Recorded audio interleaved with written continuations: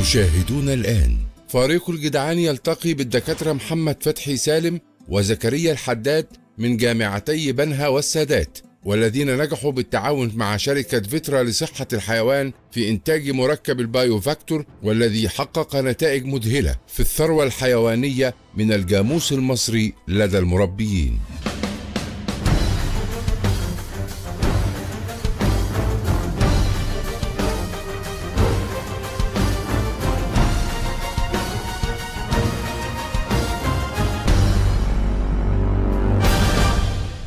لسه معاكم مكملين في قرى محافظة الغربية اللي فيها أشهر المربين للجاموس في مصر.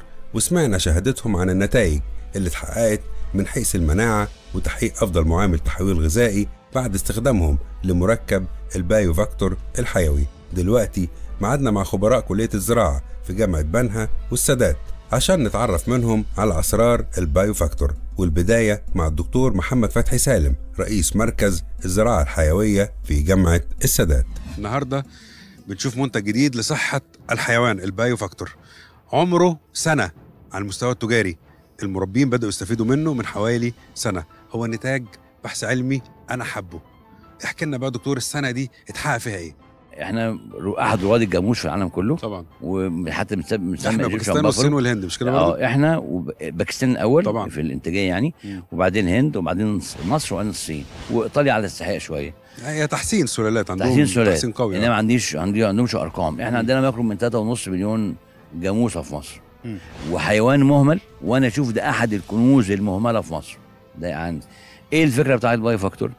معدلات التحويل في في الجاموس المصري عندها مشكلتين كبار في الجاموس. مشكلة ضعف معاملة التحويل يعني ما يجيش bod- body weight كل يوم صحيح. وزن لحم كويس اقتصادي. أقصى كيلو 100 كيلو 200 اقتصادي آه كيلو كيلو 100 كيلو 200 جرام. فهل عندنا حلم نوصل ل 2 كيلو؟ ده اللي عملناه بالباي- فاكتور. وقطعنا في القصة دي يا محمد بيه عشان عارف برضه بحوث ما يقرب من ست سنوات. عشان نوصل إيه الفورميولا اللي تناسب الفلورا في كرش الجاموس غير الأبقار غير الدواجن. دي بحوث كتير قوي.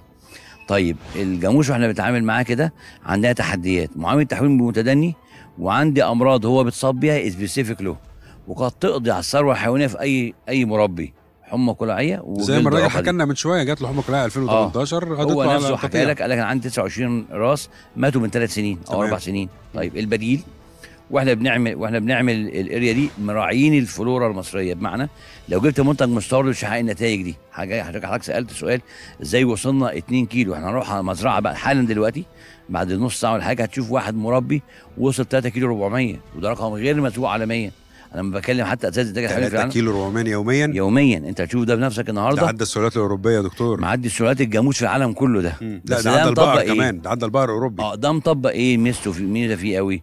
مش كل المربين بيسمعوا كلامك يا محمد بيه. ساعات المربي المصري يحب يحط touch خفيف قوي بينه. إنما تطبق ال regulation بتاعتنا إحنا بنضيف dose معينة يوميا يوميا. وعجول الاستقبال حضرتك زي شايفها زي دي بتاخد 750 مللي على ثلاث أيام. تجريع 250 في 250 في 250 فاصل 24 ساعة.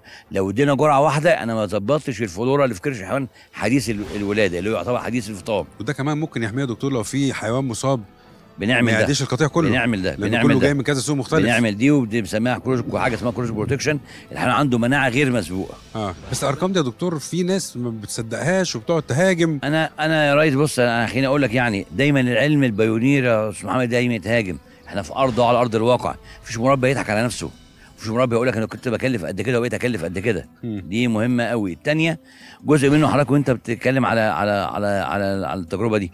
دي نوال نجاح مشروع بيتلو في مصر. طبعا. ادي حضرتك مثال نموذج بسيط مش قوي. تحسين بحيي هنا. يا دكتور. ها؟ مش محتاجين محتاجين تحسين سلالات مع إيطالي. لأن أنا أديك مثال. ما حدش في مصر كلها على مدى 50 سنة اهتم بعلم البروبيوتيك للجاموس. للأسف يعني. اهتمينا بيه في الأبقار. جزء تاني منه وأنا بكلم حضرتك ودي مهم قوي. الجاموس المصري عندنا ثلاث ثلاثة يعتبروا ثلاث يعتبرهم ثلاث اصابع ستيرين أو ثلاث ثلاث ثلاث سلالات مختلفين. جاموس اسمه جاموس المنوفي ده عندنا في المنوفية. جاموس اسمه جاموس البحيري ده اعلى أعلى معامل تحويل. وجاموس صعيدي متدني. للأسف إحنا ما عملناش خرايط وراثيه ده أنا أنا بقول لحضرتك بدعوك في هندسة وراثيه عندنا في الجامعة. أنا أنا بدعو نعمل نعمل جينيتك ماب نعمل خريطة وراثية للجاموس المصري. ونوصف جينات المسؤولة عن المناعة جينات المسؤولة عن معامله التحويل. الجينات المسؤولة عن آه، أعلى أعلى تمثيل غذائي. آه، خصوبة قلت لك برضو من ضمن الحاجات قبل الهوا أنا نفسي مصر كده وبناشد وزير الزراعة فيها وبيتعاون مع الجامعات المصرية. يبقى عندنا book herd book لأحسن 100 طروقه جاموس في مصر. ده يحسن بيه السؤالات كلها. طبعا. دي واحدة. الثانية جزء منه أنا اعتبرني أنا قلت لك أنا وأنا أنا بنبسط إن إحنا بنروح عند فلاحين وبنقصص نجاح ومن قمه سعادتي إن أنا أنجح في حاجة زي كده. بتعوض يا أستاذ محمد تعب سنين كتير. طبعا. لا المفروض أقول لحضرتك إحنا شوية بنصور في أجواء مطر و... وعواصف وبتاع بس أنا مبسوط إن عندنا دخلنا سرعه على ناس زي دول. حيوانات زي دي إحنا مسؤول عنها. خليني أقول لحضرتك اكسبرونتال كده. لو المشروع ده اتطبق في مصر أنا اللي مسؤول قدام الرئيس السيسي. أقسم بالله إحنا قبل 2025 عندنا أنا اكتفاء 25 ذاتي من اللحوم وده اللي أنا عندنا قلته 25 مليون راس جاموس. إحنا النهارده عندنا 3.4 من 10 مليون راس جاموس. خلي حضرتك عارف عندنا مشكلة كبيرة في الجاموس. أنا مبسوط بيها بتشدني خد بالك أنا مبسوط. آه، آه، آه، آه، جزء كبير جدا عندنا مشكلات كبيرة في الجاموس حليناها. هي كانت وجود- الجاكيت تقريبا. هي تاكل الجاكيت عادي خالص سيبها لأن يعني هي لسه ما اتصدمتش. آه. خد بالك ما هي دي نوع من الرضاعة يعني. جزء كبير جدا منه هقول لحضرتك إيه مشكلتنا؟ عندنا حاجة اسمها الشياع الصامت في الجاموس. 86% من الجاموس تطلب عشار وإحنا ما بنحسش بيها. آه. للأسف. ودي صفة غذاء حاجة بنسميها إيه بال genetics صفة في التغذية وصفة وراثية. مش عارفين نتغلب عليه. اتغلبنا عليها بالبايو فاكتور. الجاموس لو انت احتكيت بالمربين هنروح المزرعة دلوقتي أقول لك أقل من 28 يوم الجاموس كله عندي الشيع وطلب طلب طلب يعشر عشار. فاكرين طبعا مركب النوفا بلس الحيوي اللي بيضاف لمية الري وحقق نتائج مذهلة في مختلف المحاصيل الزراعية.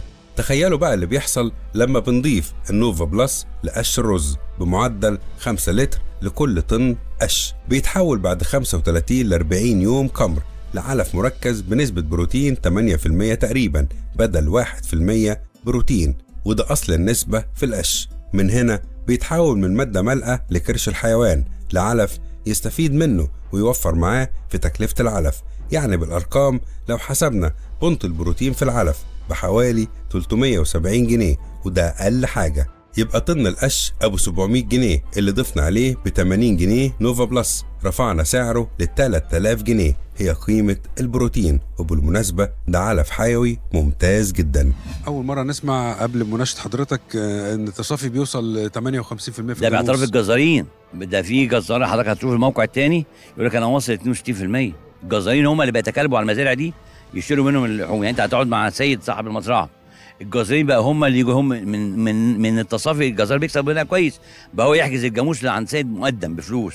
ادي حضرتك مثال بقى نموذج تاني وده حضرتك تخيل معايا الحلم عاي- اللي أنا عايز أعمله في مصر. إحنا أنا بس عايز- أوضح حاجة إن إحنا يا جماعة بنصور الدنيا بتمطر ويعني اللي شايل. عننا شوية نت فوق كده ثانيا الجاموس مبهدلنا عمال يعض فينا ثالثا البرق فوق غير طبيعي.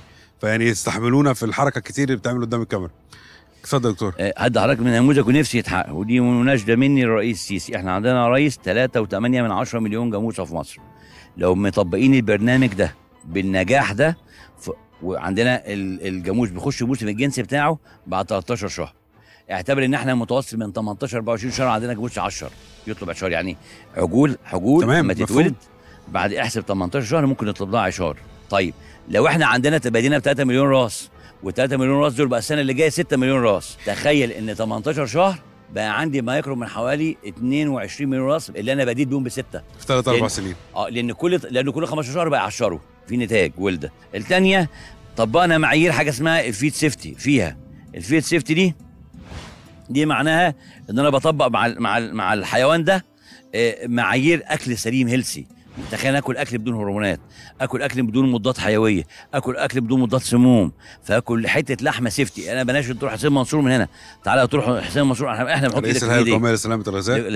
لسلامه الغذاء. إحنا بن- بننتج مواصفات لحمة آه، آه، organic بمواصفات عالية جدا وخالية من كل المتبقيات. أنا سمعتك وحضرتك بتقول لصاحب المزرعة سيد إن الجزارين بياخدوا العجول البقري أو الجاموسي اللي بتاخد البايو. فاكتور. الجمس آه، تحديدا جدا بزيادة جنيه أو 2 جنيه آه. عن, عن العادي السوق عن السوق ليه يعني إيه؟ عشان نسبة التصافي مثلا مثلا تصافي 2% زيادة آه وحلاوة لحم طعم ال- لل- بقى الجزار بقى المزا- المربين يرتبطوا بيه زي أنا هضحك مثال في نماذج كتير اغلب المزارع بترتبط بينا ليه؟ المستهلك بقى له sense دلوقتي consu هو بيسموها كده consumer perception المستهلك عايز إيه؟ لو ارتبط بطعم اللحمة دي بيعرف من الجزار جايب منين مزرعة كذا؟ الجزارين بيقولوا إحنا بنروح لمزرعه كذا. فالسيد ده اتعرف على مستوى الغربية إن بيطلع دورة كل كل متوسط 170 160 يوم لجزارين بقى سعر أغلى من العادي والجزارين بيتهافتوا عليه. أنا حتى بقى خلاصة كلامي يا محمد بيه عشان ابقى أنا كلام وصلت حتى رسالتي للريس وصلت رسالتي للبلد كلها. إحنا عندنا حيوان أنا أشوفه كنز أحد كنوز طبعا. مصر الجاموس المصري. طبعا. الجاموس المصري مش موجود في ليبيا مش موجود في تونس مش موجود في الجزائر مش موجود في المغرب ولا في الأردن ولا في إسرائيل وأنت رايح. قد يكون تفوق علينا إسرائيليين في حاجة كويسة قوي المفروض برضه أقول لك دي كلمه حق يعني في معدل إنتاج الألبان. في مصر إنتاج الألبان ما زال متدني في الجاموس. مع إن مواصفات اللبن عندنا program حلو قوي برضه بنعمله ب version تانية. هيظهر قريب؟ أشوف less than 6 6 months يعني. أقل من خلال 6 ست شهور. أقل ست شهور هنكون عندنا منتج تاني للحلاب بس. اشكرك يا دكتور. أنا أنا طموحي ان نعمل اكتفاء كمان من اللبن الج- الجاموسي في مصر. دلوقتي تعالوا نقابل الدكتور أحمد قطب رئيس شركة فيترا لصحة الحيوان واللي شارك كممثل للقطاع الخاص في إنتاج مركب البايوفاكتور للثروة الحيوانية. واللي بيحتوي على كائنات حية نافعة بتقوم بمجموعة من الوظائف زي إطلاق إنزيمات هاضمة لكل مكونات العلف كربوهيدرات وألياف وبروتينات. ودي أهم مميزات المركب بخلاف قدرته على تحفيز الجهاز المناعي للحيوان. بالراحة كده حضرتك راجل دكتور ومتخصص وفي بحث علمي حصل أو تعاون علمي ما بين حضرتك وما بين جامعة سادات. ده اللي إحنا عايزينه قطاع خاص وقطاع بحثي. وأنتج البايوفاكتور عايز افهم بقى إيه حكاية البايوفاكتور بيشتغل إزاي بيعمل إيه جوه الحيوان فهمني. إحنا هنا بنجرب منتج البايوفاكتور وده تعاون علمي بحثي مع بين الشركة عندنا ومعهد بحوث معهد الهندسة الوراثية والبايوتكنولوجي في جامعة سادات. البحث ده كان موجود بقاله من 2006 موجود في الإدراج. إحنا بدأنا نطور 14 المنتج. سنة في الإدراج؟ بالظبط كده. وبحث مميز جدا. وفعلا العالم كله شغال فيه من 10 و15 سنة في استخدام بدايل للمضادات الحيوية في زيادة النمو بالنسبة للحيوان. المنتج عبارة عن مجموعة كبيرة جدا من البكتيريا النافعة والكائنات الدقيقة اللي بتفيد الحيوان في كذا محور. من أهمهم طبعا آه، ال- الهضم الأكل. المنتج بيفرز إنزيمات هاضمة في كل مكونات العلف ودي المشكلة الكبيرة اللي بتقابل مربي التسمين إنه بيكلف كتير جدا وما بياخدش عائد لأن هو الحيوان بياكل أكل وما بيستفيدش منه. الاجانب دور مهم جدا واللي إحنا بنواجهه معظم المربيين آه، رفع المناعة بتاعت الحيوان. الحيوان بيواجه مشاكل كتير جدا زي الأمراض الفيروسية الحمى القلعية والجلد العقدي ودي كانت موجودة من شهر تقريبا الحمى القلعية موجودة هنا في المزرعة زي ديت. والحمد لله صاحب المزرعة واجه المشكلة بدون أي خسائر وبدون أي تكاليف. دكتور أحمد يعني ال- البايوفاكتور بستخدمه للوقاية من الحمى القلعية وغيرها من الأمراض الحيوانية ولا ممكن اعالج بيه الإصابة؟ يعني لو حيوان اتصاب بالحمى القلعية. تفضل طبعا استخدام المنتج كوقاية. لأن إحنا بنجهز الحيوان مناعيا إنه يقابل المرض. يعني يبقى ضمن البرنامج الغذائي للجاموس مثلا. بالظبط كده تمام. بالظبط. إن إحنا طبعا بنستخدم المنتج استخدام يومي مع الحيوان مم. ودي أحسن استخدام له عشان ناخد النتائج بتاعته. إيه المميزات الثانية يا دكتور للبايوفاكتور آه، م- من أهم مميزاته انه بيخلي صاحب الحيوان ما بيحتاجش كتير إضافات أعلاف تانية أو كيماويات أو مضادات حيوية. هو كل ما هو شغال بالبرنامج الوقائي طول الدورة مفيش مشاكل للحيوان. الحيوان في صحة كويسة ال performance بتاعه عالي. وبالتالي ما بيحتاجش تدخلات زي موضوع الحمى القلاعية الحمى القلاعية جت هنا المزرعة ديت ما استخدمش مضادات حيوية. ودي كانت مكلفة جدا بالنسبة لمقاومة المرض. طب أسألك سؤال تاني إن إحنا المركب بتاع ال BioFactor معروف في العالم. تمام. طب قلت لي إن العالم من 10 15 سنة هو شغال على مركبات مماثلة. طب ليه النتائج دي ما اتحققتش ما أكيد المركب ده موجود في مصر. لأن البكتيريا دي أو السلالات دي أصلا سلالات خارجية مش موجودة في مصر. آه، إحنا المنتج بتاعنا بيحتوي على سلالات محلية وده سر نجاح المنتج. مستخلصة من كرش الجاموس المصري مصر. والبقر. المصري؟ سلالة محلية من البكتيريا والكائنات الحية النافعة. تمام. تمام؟ هو آه. ده ده الميزة. طب وإيه الفرق يعني؟ ما هو في العالم كله موجودة كائنات حية نفس الكائنات الحيه دي. لا طبعا genotypes والأنواع مختلفة. آه. ممكن يكون الاسم واحد بس آه، نوعها بقى مختلف. كل كل مكان له عترته له له نوعه خاص بيه. آه. ونقطة مهمة جدا عدد ال- البكتيريا النافعة. معظم المنتجات المستوردة بتحتوي على من ثلاثة لخمس أنواع من البكتيريا بس. إحنا هنا بي- بيتعدى ال 20 نوع. طب في السعر؟ التكاليف بالظبط. هي دي نقطة برضه ميزة أكبر آه. إن إحنا التكاليف بتاعتنا لا تتعدى 10 15% من المنتج المستورد. دلوقتي هنقابل الدكتور والعالم زكريا الحداد الأستاذ المتفرغ بكلية الزراعة في جامعة بنها واللي هيقيم جهود التعاون ما بين القطاع الخاص والقطاع العلمي في جامعات بنها والسادات لخدمة المجتمع. دكتور عايز منك تقييم لجهود البحث العلمي والشراكة مع القطاع الخاص لإنتاج منتج يفيد الجاموس المصري. هو الحقيقة أنا عاوز أقول لحضرتك إن صناعة البكتيريا في العالم هي أغلى صناعة بعد صناعة السلاح عموما في العالم. تمام. اللي حصل هنا ده هو الحقيقة جهود بحثية متميزة جدا وغير متكررة للأسف في مصر. يعني إحنا نتمنى إن في مصر يبقى فيه جهود بحثية بين الجامعات وبين الشركات وبين المستهلك. وده النموذج اللي إحنا فيه ده بيوضح هذا بجلاء تام. إحنا عندنا هنا مزارع وعندنا معهد الهندسة الوراثية في مدينة السادات وعندنا شركة قطاع خاص. الاثنين مشتركين مع بعض في إنتاج منتج. هذا المنتج بيعوض المشاكل اللي موجودة في البيئة بتاعتنا. إحنا في الحقيقة بننتج في الإنتاج الزراعي بتاعنا بننتج آه، آه، مخلفات زراعية وحتى أكلنا إحنا ملوث. بالأسمدة الكيماوية والمبيدات ده معروف يعني. وده بيأثر على الفلورا بتاع كرش الحيوان. فدلوقتي كرش الحيوان ده في اللي ربنا خلق فيه فلورا طبيعية بكتيريا دقيقة طبيعية مفيدة. بتساعد في عملية الهضم. تمام. فالمشكلة دلوقتي إن الحيوان لما بياكل بيلاقي الفلورا بتاعته تعبانة فما بيهضمش الأكل اللي بياكله. وبالتالي معامل التحويل بيبقى ضعيف جدا. اللي حاصل دلوقتي إن المنتج اللي هم شاركوا في إنتاجه ال BioFactor ده بيعوض الفلورا بتاع كرش الحيوان البكتيريا اللي هي ضاعت منه وبالتالي يرجع الحيوان لطبيعته الأصلية اللي ربنا خلقه عليها فيستطيع يزود معامل التحويل بتاعه. نفس القصة في معالجة القش. قش الرز ده نسبة ال- البروتين فيه العادي واحد في المية. لما بيتعالج بال Nova Plus بشكل معين في مرحلة كمر. بيتكمر ويتحط على كل طن من قش الرز خمسة لتر Nova Plus بيرفع البكتيريا بيرفع ال- ال- بروتين. البروتين لسبعة في المية. وفضلا عن ذلك بيزود كمان معامل الهضم. يعني بيخلي الحيوان يستطيع انه يهضم اللي بياكله بشكل أكتر. يعني ما بيبقاش مجرد مادة مالئه بالظبط كده. آه. وبالتالي الطاقة بيسموها الطاقة ال metabolizable energy الطاقة الميتابوليزية اللي بيستطيع النبات يستفيد الحيوان يستفيد منها. ويطلع في الآخر الطاقة اللي هي بيسموها net energy.